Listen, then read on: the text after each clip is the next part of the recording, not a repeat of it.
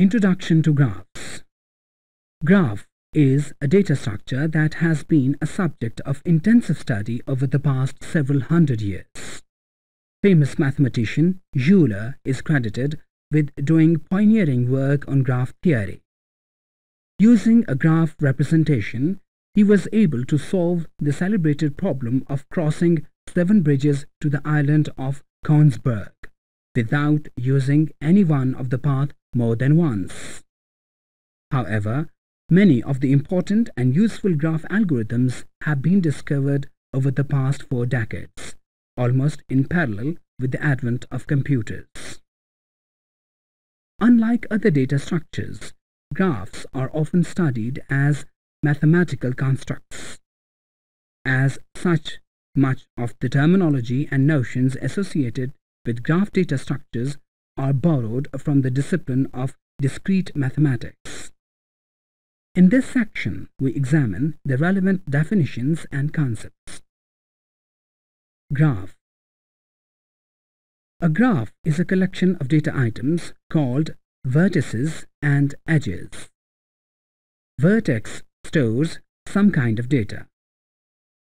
An edge represents a connection between pairs of vertices. A vertex is sometimes referred to as node or point. An edge is also termed as arc. Suppose A and B represent a pair of vertices in a graph. The edge connecting A to B can be represented as AB or more commonly as enclosed in a pair of parentheses. In formal theory of graphs, Set notation is often used to represent a graph and its associated elements.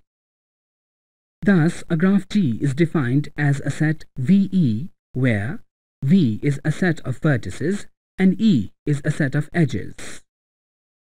If V1, V2, V3 up to Vn are the vertices, then using set notations we can write more often, graphs are shown pictorially using diagrams. Typically, a rectangle, oval, or circle represents a vertex. Lines or arcs are used to depict the edges.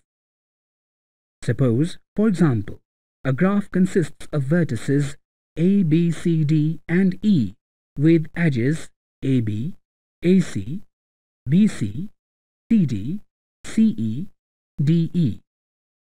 Figure shows a diagrammatical representation of this graph. It is emphasized that in pictorial representation, the location of vertex is immaterial for some applications. Thus, vertices can be laid out in several ways. For example, this figure is an alternative representation with a different geometrical configuration of the same set of vertices and edges. Although these two pictorial representations give different looks, they represent the same set of data elements in the graph. Graphs are classified on basis of properties of the edges and their orientation. The major categories are undirected, directed, weighted, and multigraph. We now briefly overview the salient features of each type. Undirected graph.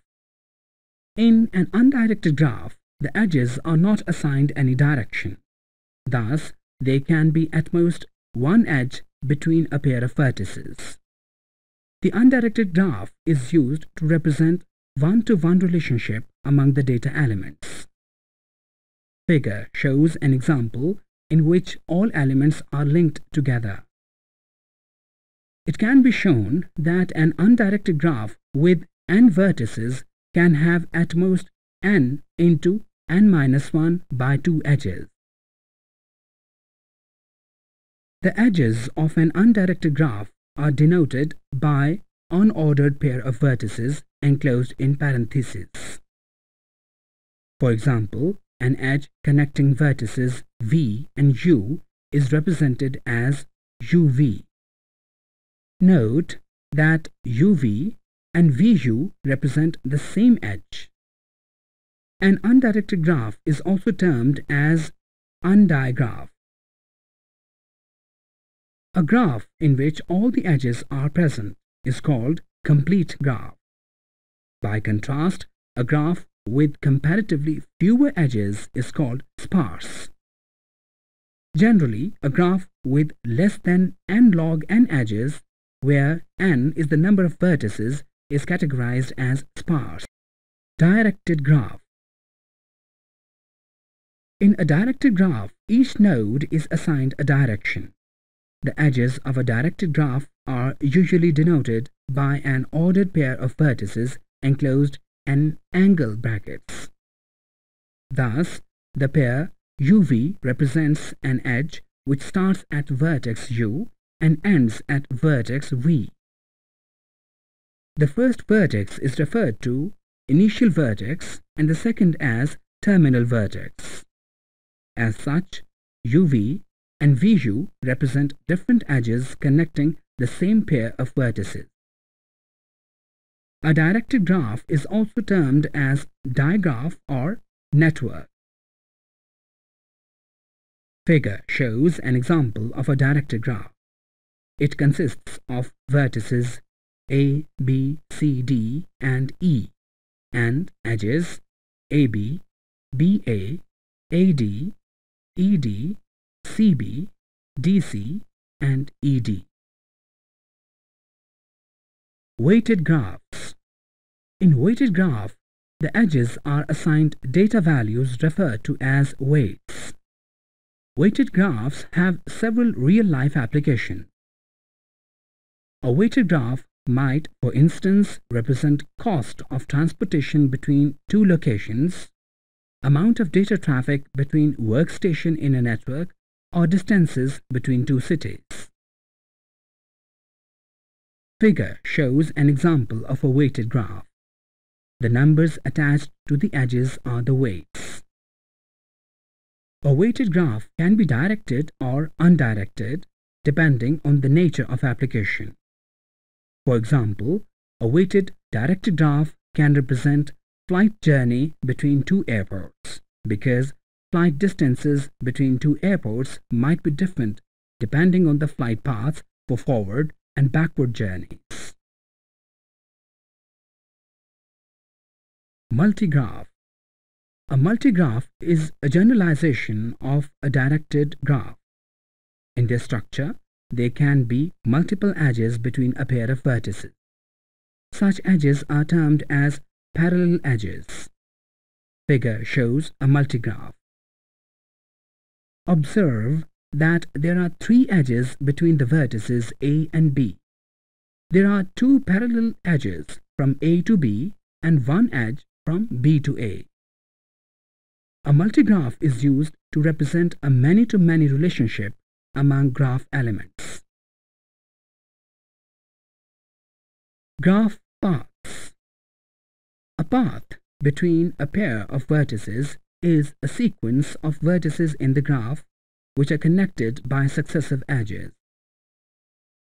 We can denote the path by enclosing the list of vertices in a pair of angle brackets. For example, in figure, ABDE represents a path between the vertex A and E.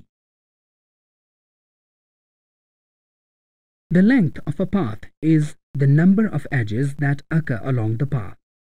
For example, the length of path ABDE is 3.